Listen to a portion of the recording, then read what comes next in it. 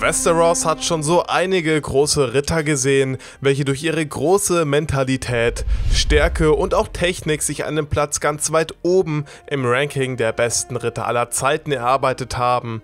Vor einigen Jahren hatte ich bereits ein Ranking der besten Ritter vorgestellt, da sich dies aber als nicht mehr ganz aktuell herausstellte und natürlich jeder dies ganz allein für sich subjektiv betrachten muss, habe ich eine Remastered Edition produziert, die ich euch heute vorstellen möchte also lasset die Klingen schwingen.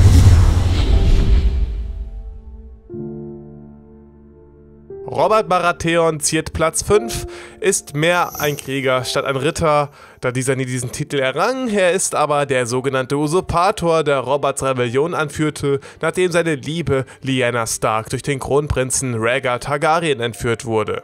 Er versammelte ein riesiges Heer und führte dies gegen die Royalen in die Schlacht.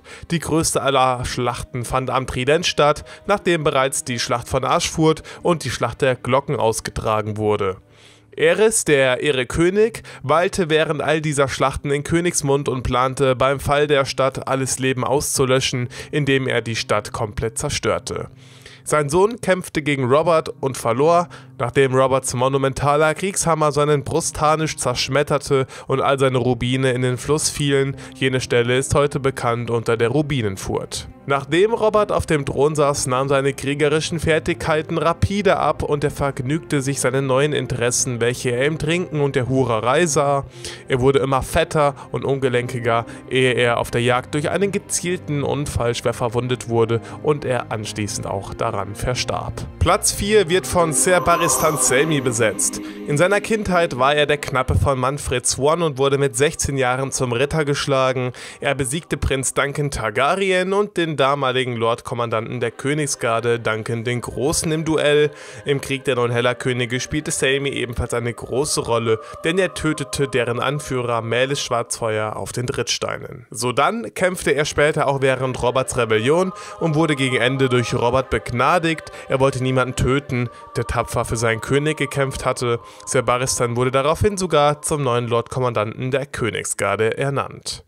Er besitzt eine besondere Mischung aus Technik und Kalkül, wodurch er seinen Gegner gut einschätzen und seine nächsten Kampfhandlungen durchblicken kann. Sir Gregor Clegane oder auch besser bekannt unter seinem Beinamen Der Berg ist ein Koloss von Krieger und besetzt Platz 3.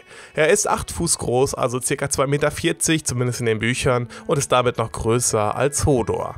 Er ist so stark, dass er sein Großschwert schwingen kann wie andere einen Dolch. Im Alter von gerade einmal 12 Jahren hielt er das Gesicht seines Bruders Sandor ins Feuer, weil dieser mit seinem Spielzeug spielte. Bei der Plünderung von Königsmund tötete er ein kleines Baby, welches er für Prinz Aegon Targaryen hielt. Er schmetterte es an die Wand, sodass der Schädel zersplitterte. Anschließend vergewaltigte er die Mutter Elia Martell, bis er auch sie tötete. Er steht bei vielen Kopfgeldjägern an oberster Stelle, jedoch konnte bislang noch keiner ihn schnappen. Gregor Clegane besitzt keine großartige Technik, er fungiert eher nach dem Hau drauf Prinzip. Seine übermenschliche Kraft benutzt er, um harte und gezielte Schläge gegen seine Kontrahenten zu verteilen. Ein so muskulöses Monstrum kann nur noch von technisch visierten Rittern in den Schatten gestellt werden. Und damit wären wir hier schon bei Platz 2 und Sir Duncan den Großen. Er war einer der größten Lordkommandanten der Königsgarde und diente während der Herrschaft von Aegon V. Sir Duncan wurde im Flohloch geboren und lebte dort als Straßenjunge. Möchtet ihr eine gesamte Biografie über Sir Duncan den Großen hören, dann lasst es mich in den Kommentaren wissen, denn die ist echt lang. Nichtsdestoweniger wurde ja sogar ein kompletter Subroman über ihn geschrieben. Er gewann etliche Turniere und Zweikämpfe gegen große Ritter und hegte eine große Begabung für seinen Schwertkampf. Sir Duncan kämpfte gegen Lionel Baratheon, als es um Streitigkeiten bezüglich einer gebrochenen Verlobung ging. Als Duncan gewann, sicherte König Aegon ihm zu, seine jüngste Tochter mit Lionels Erben Ormund Baratheon zu verheiraten. Alsdann waren die Streitigkeiten auch schon vorüber. Sir Baristan besiegte einen geheimnisvollen Ritter, welcher durch Duncan repräsentiert wurde. Sein Ende fand Sir Duncan dann aber mit König Aegon und Prinz Duncan in der Tragödie von Sommerhall, der Sommerresidenz der Targaryens. Platz 1 wird wie auch schon beim letzten Ranking durch Sir Arthur Dane eingenommen. Ich verzichte an dieser Stelle auf eine konkretere Beschreibung und Erwähnung seiner großen Taten und verweise auf mein letztes Video oder das History-Video über das Haus Dane.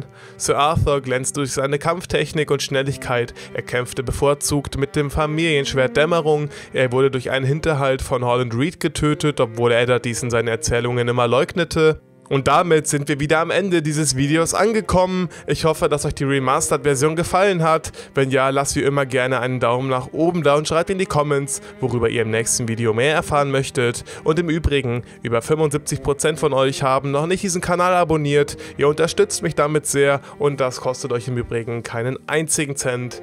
In diesem Sinne, bis zum nächsten Mal. Macht's gut. Ciao.